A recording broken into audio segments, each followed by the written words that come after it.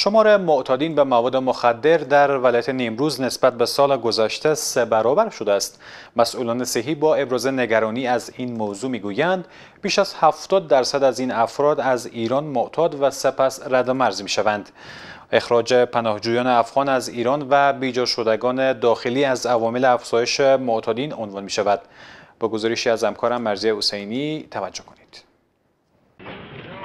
افزایش سه برابری معتادین به مواد مخدر در ولایت نیمروز آنگونه که گفته می شود بیشتر این افراد کسانی هستند که مدتی را به نام مهاجر در ایران سپری کردند و بعد از مصاب شدن به این بیماری رد مرز شدند. این معتادین یگانه دلیل رفتنشان را به ایران بیکاری و فقر اقتصادی در افغانستان عنوان می کنند. آنان می‌گویند به دلیل فشارهای روحی و روانی بعد از مدتی معتاد به مواد مخدر شدند. اما اینک خواهان درمان و از همه مهمتر برخورد جدی دولت با خورد فروشان هستند. یک پیدا شدم دوباره شدم خودم عمل هم اینجا گرفتار شدم بموندم انوال به خونه هم رفتنم مثلا عملی شدم. که بامر الله از دل خود آمدیم به دل خود آمدیم که اینجا پاک شدم از اینجا بریم پیش خانواده خود پاک بمانیم بامر الله.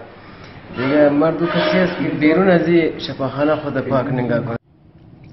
آنگونه که مسئولان صحت عامه می‌گویند در حال حاضر نزدیک به سی هزار معتاد به شمول زنان و کودکان در این ولایت به سر می‌برند.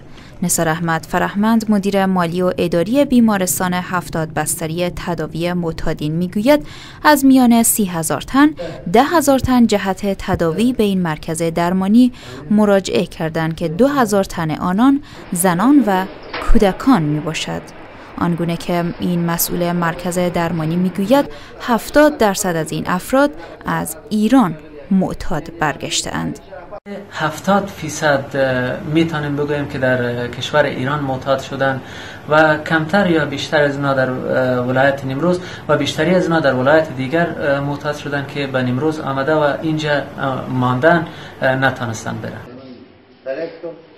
مسئولان محلی در این ولایت با ابراز نگرانی از این موضوع می‌گویند اخراج پناهجویان افغان از ایران و بیجا شده های داخلی سبب افزایش این شمار از معتادین در نیمروز شده است.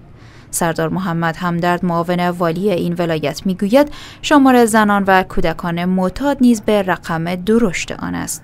آنگونه که معاون والی میگوید جهت جمعآوری ساقی خانه ها و پوری فروشان اقدامات جدی روی دست گرفته شده است. یو کمیسیون مو جوړ کړی دی او زه کمیسیون ته مدان سپارلې ده چې په شهر کې څه هغه مرکزونه چې هغه کې نشي توکي خرڅېږي او معتادین دغه څخه استفاده کوي. دغه د مخنیوي لپاره هڅه را پیل کړې ده او ان شاء الله ډیر ژر به په دغه برخه کې مثبت بدلون راولو در ولایت نیمروز با این رقم بالای معتادین تنها یک مرکز درمانی و دو کمپ خصوصی جهت نگهداری از آنان وجود دارد. این در حالی است که نیمروز در جنوب غرب کشور مسیر عمده قاچاق مواد مخدر به شمار رفته و بیشتر مواد مخدر تولید شده در کشور از همین مسیر به کشورهای همسایه قاچاق می شود. هرچند سالانه ده تن مواد مخدر از سوی پلیس در این ولایت کشف و ضبط و آتش زده می شود اما هنوز هم شاهد افزایش شمار معتادین در این ولایت هستیم.